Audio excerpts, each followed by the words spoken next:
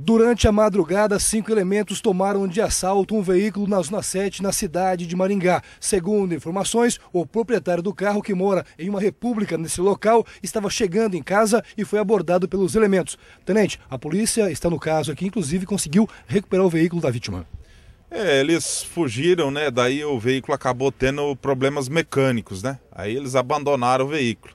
Aí obrigaram uma outra pessoa a, a, a deixar eles é, num, num, outro ponto da cidade, né, a da fuga.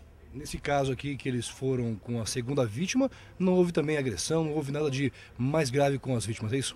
Não, é, com a, é, e não, não houve também roubo, né? Só fizeram com que desse fuga é, para eles. E do primeiro caso, levaram o veículo, e também os objetos pessoais lá pertencentes à primeira vítima, né? relógio, celular, carteira, objetos pessoais. Né? Alguma informação a mais sobre os elementos? A polícia tem alguma pista das, dos cinco bandidos aqui? É, foi feito diligências aí durante a cidade, né? De, de, durante a noite, né? no objetivo de identificar e localizar essas pessoas, né? no entanto não, não obteve êxito. Né? Agora as informações são repassadas aí principalmente para a Polícia Civil para que dê sequência aí às investigações.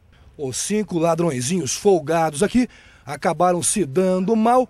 O carro, primeiro assaltado, ficou com problemas mecânicos, abandonaram o mesmo e depois praticaram esse segundo assalto até chegar próximo à residência dos mesmos. A polícia agora trabalha para tentar localizar os cinco folgados que se deram mal durante a madrugada. Com imagens de Elcio Casado, Ailton Machado para o Maringauro, gente.